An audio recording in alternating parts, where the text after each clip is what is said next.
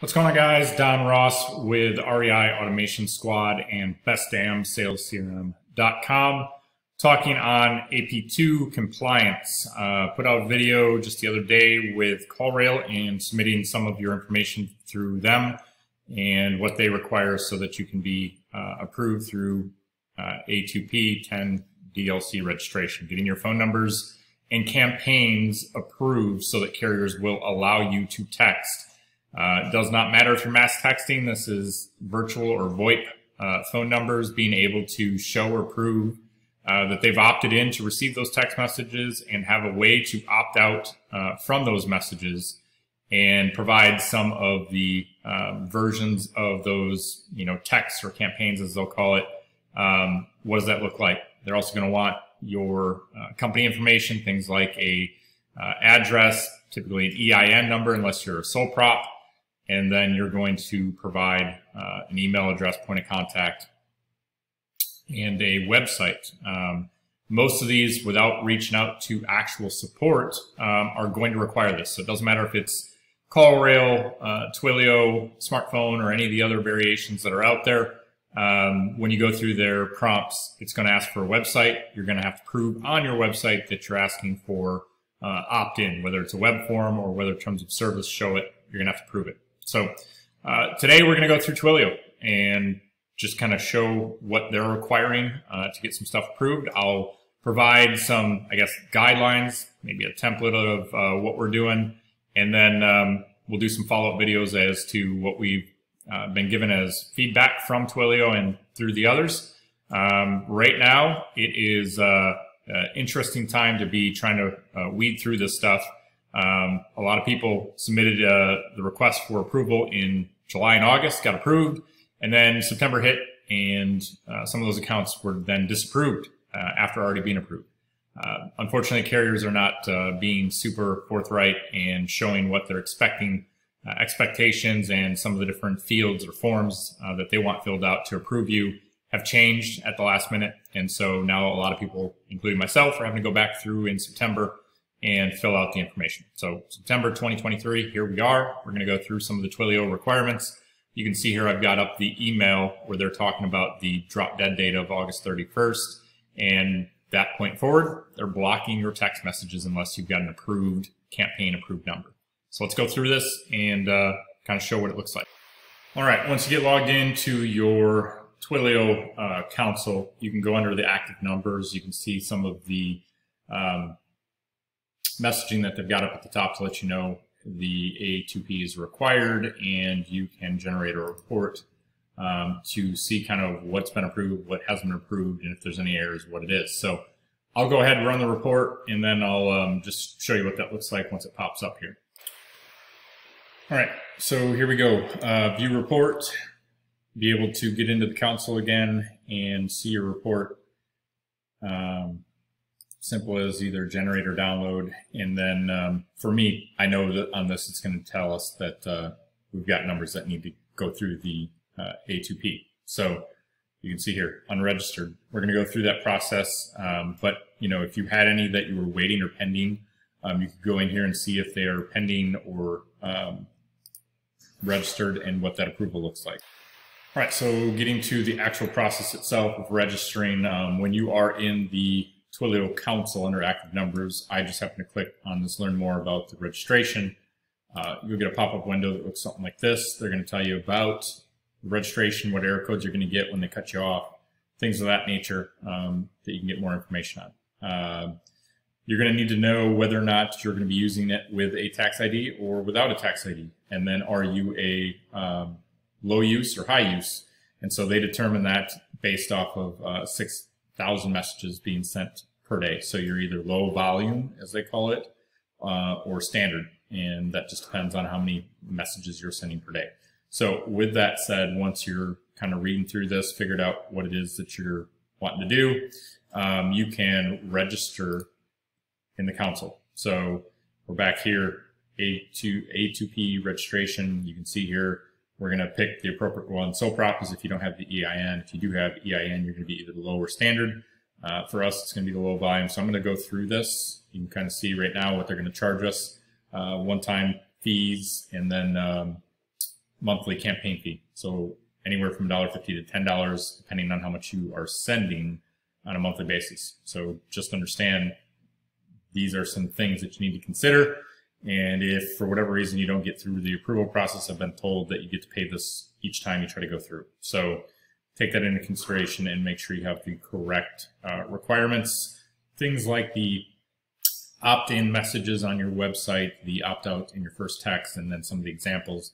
Understand if you start talking about cold messaging random people that have never reached out to you and you just think they might be interested in your service or product, um, probably not going to get approved. So think about that when you're submitting stuff. It should be people that have opted in. They're reaching out to you, whether you're running ads or doing social media, but they're reaching out to you first, then you're touching base with them.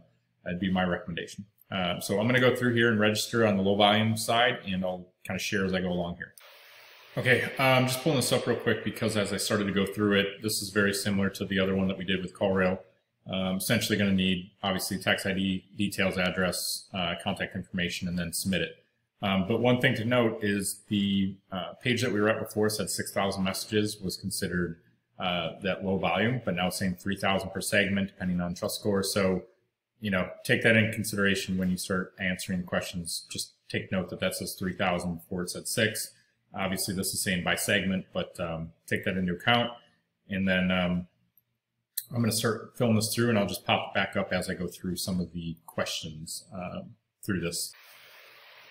Okay, uh, something unique that just kind of came up is whatever third party they use to uh, search the EIN numbers, it was unable to locate ours so I'm gonna have to actually switch to a customer profile. Uh, you may be able to continue through here, um, but it is just telling you that uh, whatever the EIN number is that you're using, make sure if you create a customer profile, it all matches. Um, so addresses and all those things uh, need to be the same as what was filed.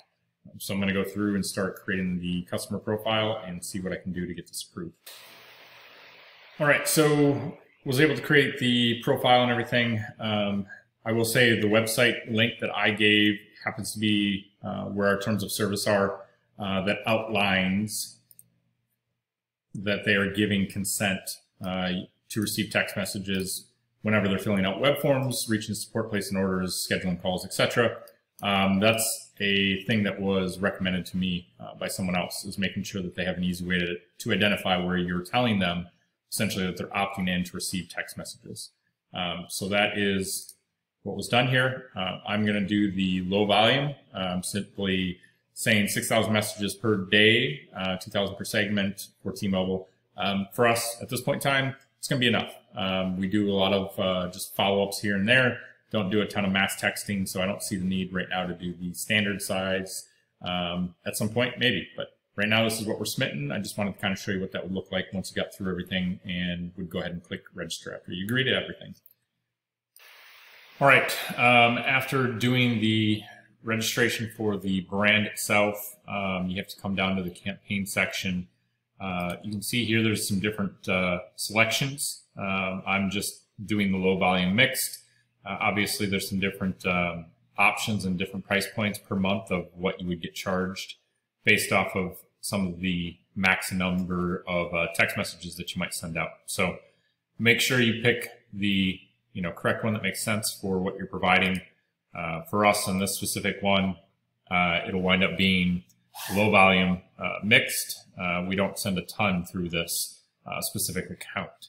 Um, there are other accounts where we do more of a mass uh, text about different sales and things to a larger list, and that would not be a low volume mix. But this one will work out for that. Um, you can see creating a message, and then we just have to go through the description and um, give some samples of what that looks like, some of the opt-out language. Uh, will we have links included in some of the stuff? Yes. Uh, and then where do they opt in and what do they see knowing that they're consenting to receive text messages? We don't have any type of opt-in keywords where they can say, hey, subscribe or start, whatever the case may be, uh, in order to start their uh, subscription to that campaign. Uh, they just fill out their their information, their phone number when they're placing an order, filling out a web form from the website, uh, reaching out to support, or scheduling a appointment, phone call. Uh, that's how we're getting them on there. So this is what I'm submitting through here. Um, this will be the last step, uh, and then picking the phone numbers through it. uh, to send it in for support uh, to review it and send it off to the carriers for review. Okay, so after submission, here we are. Um, everything's going to be submitted, and at this point, we're pending. We Got to wait until we get a response.